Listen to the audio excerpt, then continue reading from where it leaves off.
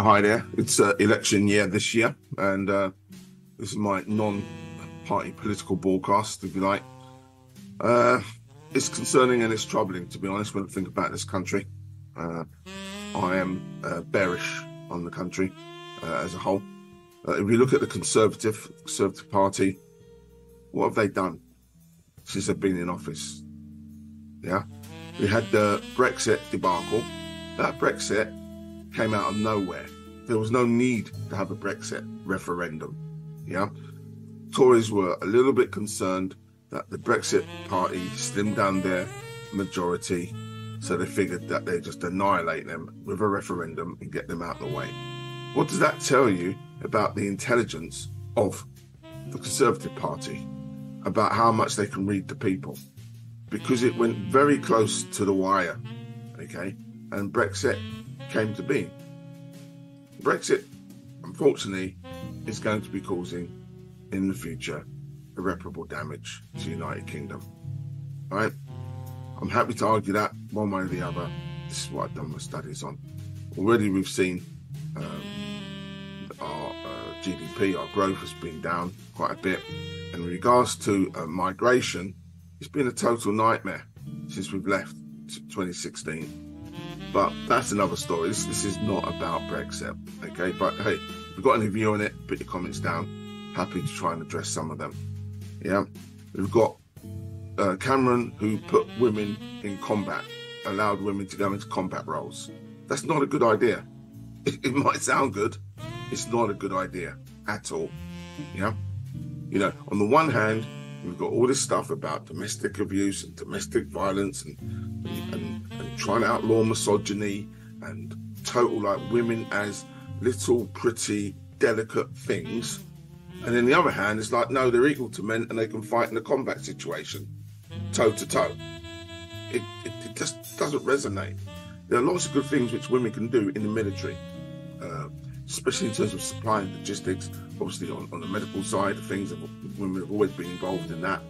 Uh, combat roles, it's, it's just not good. And you know, we're hearing the results and ramifications of it, where there's all this stuff going on. You've got high testosterone environments, and um, you know, sort of women complaining about sexual harassment and stuff like that. Um, I remember when I was in, in, in, the armed forces, and I was quite surprised. I used to go to a place called Rheindahlen in Germany. Because I was based in Germany for a little bit, and I remember Rheindahlen was very famous, like an RAF base, and it had a lot of women there. That's why we went there, and. Uh, I remember chatting. I, I went out with a woman in Iraq, so they were called Raw, Women's Royal Army Corps or something. And um, she was complaining about the sexual harassment she was getting, uh, but it wasn't from the men. Mm-mm-mm-mm-mm. It was from the women. She said the women were very predatory. I told her, why don't she complain to her troop sergeant or something? She said her sergeant was one of the biggest predators and when I said to her, why don't you complain to the, the officer and control, she, she said she, she, couldn't do it because it was just too awkward. That really stayed with me. Yeah, it really stayed with me in regards to the idea that you were thinking about leaving the armed forces because you were being sexually harassed by someone of your same gender. It was like inconceivable. Inconceivable. Um, but hey, you know, there's this big promotion uh, in the army having more women in the army, and also focusing on the demographics of people who don't really want to be in the army. You know, what's the point in that? And that's come out in the wash when uh, Colonel Sanders or General Sanders is suggesting that we should rally and prepare for war against Russia. Uh, which I done a little video on that. I mean, quite frankly, I can't see nothing wrong with Russians taking over this country.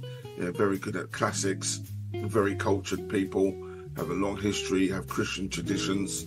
Yeah, uh, you know, I think the Caucasian is the, or Caucasus Mountains is in Russia, I believe, so that'd be good for you, you white people, if you like. Um, then we've got the, uh, the, the, the economy. Yeah, the economy is in a state. Yeah, it is in a real state. Interest rates rising. They're always going to rise, always. We did, yeah, we in Britain did not just in Britain, in the West. America did it, uh, Europe did it, Britain did it, and that is we done what we told Japan not to do. Okay, we told Japan in the 90s that they should not go for quantitative easing, i.e., via the IMF, and that's what we've done. We've done it ourselves. So when we put those interest rates down, okay, try and get us out of a fix, and now we're slightly bringing it up. And why are the interest rates going up? They're going up because of that war in U- U- Ukraine. Yeah, war in Ukraine is just another example of us wasting money, taxpayers' money, supplying uh, a failed war, war, an unwinnable war, okay, and just helping the corporatists within our own uh, uh, country, the, the, weapons manufacturers, etc., helping them, okay, uh, and a lot of people dying off the back of that. You know, 400,000 people so far in the last two years, not going back to 2014, are dying in that area, in that conflict, and it's no need to be. Yeah, this is the Conservatives. Yeah, um, Labour. Well, number one, I've never voted Conservative in my life. I was never a fan of Thatcher. And I've never voted Conservative in my life. I've only voted Labour once in my life, and that was to get the Conservatives out when they were in power from Margaret Thatcher's day, back in '97. Keir Starmer, it looks like, may possibly uh, be elected uh, as the head of the Labour Party, uh, who are, I don't know, it's felt that they might win the next general election. That is going to be devastating for Britain. Trust me now. The Conservatives cannot get their act together. What we've had about four prime ministers from them. Okay. Labour, I mean, this is a guy who cannot he cannot even give an answer to what is a woman. Yeah. This is a guy who's under pressure from various um, Uh, uh, uh, Labour districts, constituencies, because of the demographic who cannot even speak the English language, okay, may be voting against the Labour simply because of uh, him supporting the nation's uh, stance on Palestine and Israel. Yeah. So they're beholden because originally, you know, Labour, as its name suggested, was about Labour. Yeah and that you know grew in the 19th late 19th century 20th century yeah? And that was white working class down the pits the mines the builders etc uh, and, and, and women uh, working in mill and stuff like that yeah? Now now labor leans on it we call it in trading leaning on yeah? Relying on taking for granted taking for granted white working class folk yeah? And so by take them for granted, they ignore it and look at the new demographic. Because when it comes to immigration, yeah, most immigrants don't come into this country to work in the fields. Yeah, they congregate in urban areas, and urban areas are the areas where labour are predominant. So therefore, lots of these different constituencies are full of immigrants who Labour needs or feels they need to pander to to get their vote. So they tiptoe uh, across certain areas and things. For example, uh, take the so-called LGBTQ, whatever, yeah, which has taken uh, the country by storm on different issues.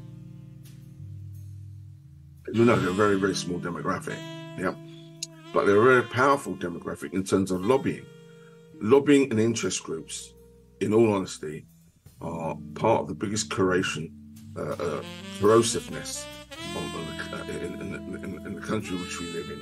Yeah, almost like an infection.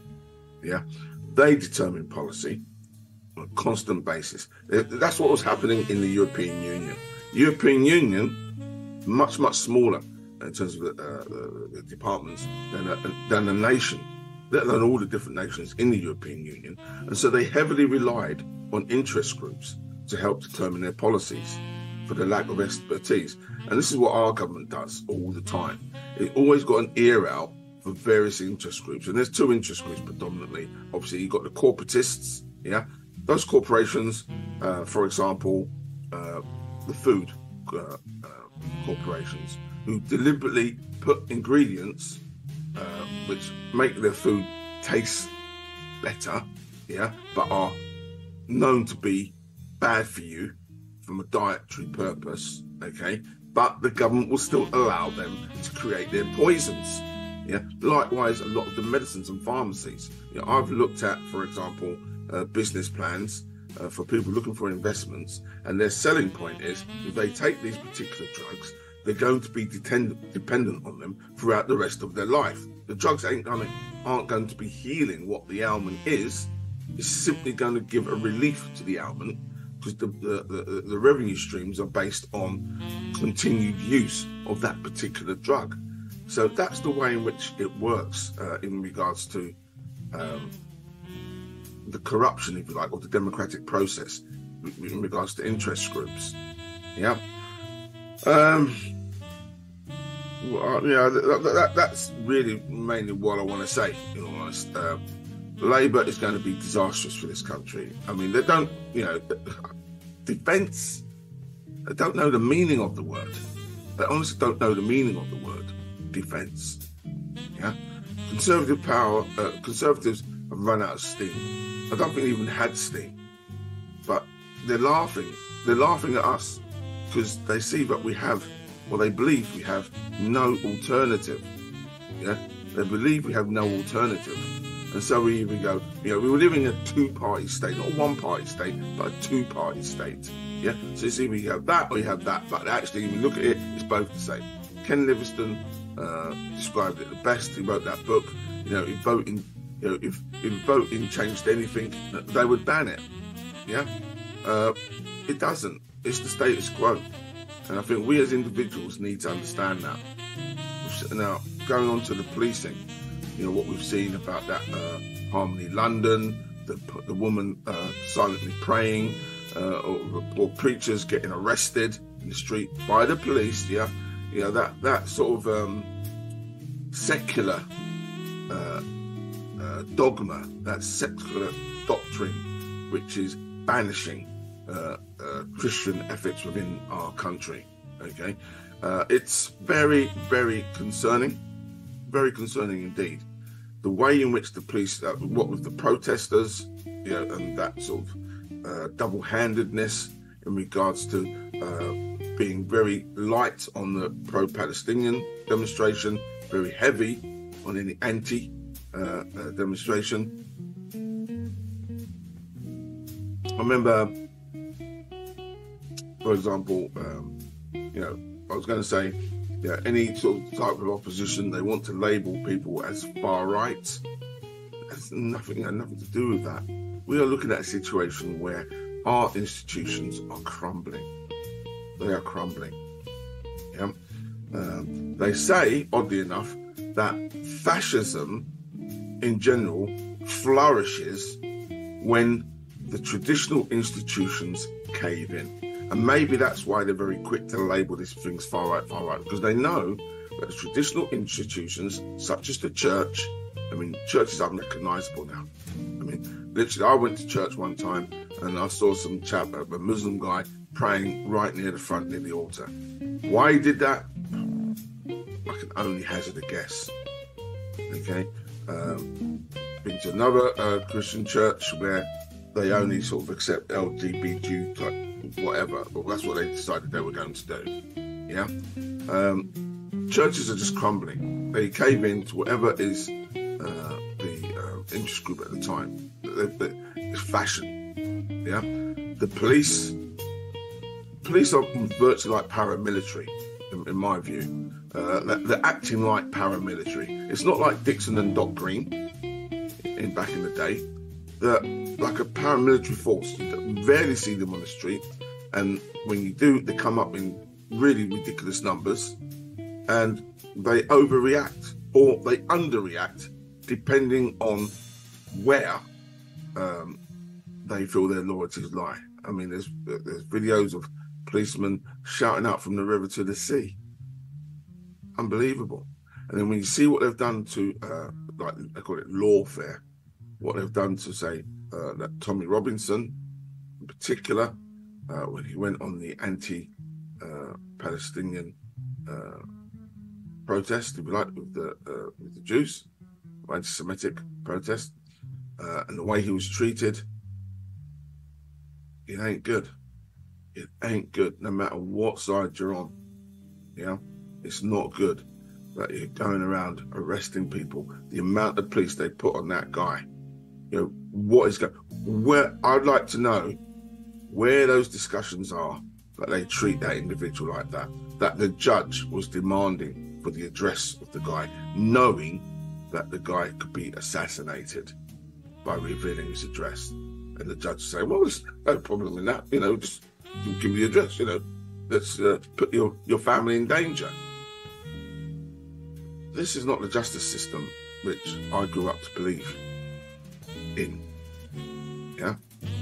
So for me, the country is in a topsy turvy way, and I'm bearish. Yeah. If Labour get in, I mean, the, the, this this country is virtually unrecognisable from how I knew it 20 years ago. Labour get in, it'll be completely unrecognisable.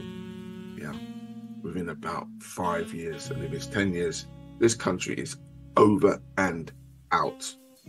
And I'm not joking. You know, between me where I live to me going to a train station, I will hear about three different languages spoken. When I'm on the train, likewise. It's not a joke. It's not a joke at all. That's it. That's all I've got to say. Over and out. A little rant, non party political broadcast.